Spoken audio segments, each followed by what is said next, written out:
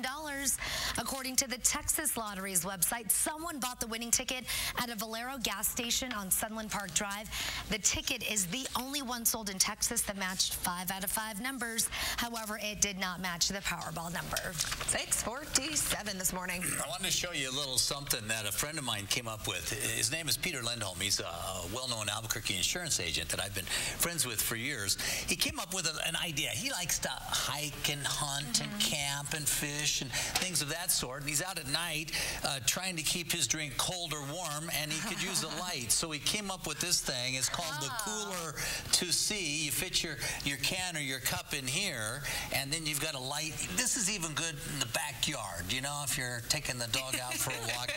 and because he was always spilling his drink, he put some magnets inside it, and this baby will stick to whatever you want to stick it to as far as metal goes there.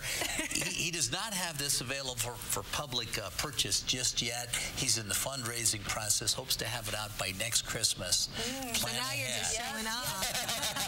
That's what we're going to get our husbands next year.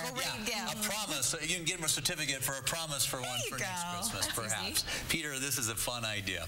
Let's take a look outside and see what's going on with your pinpoint.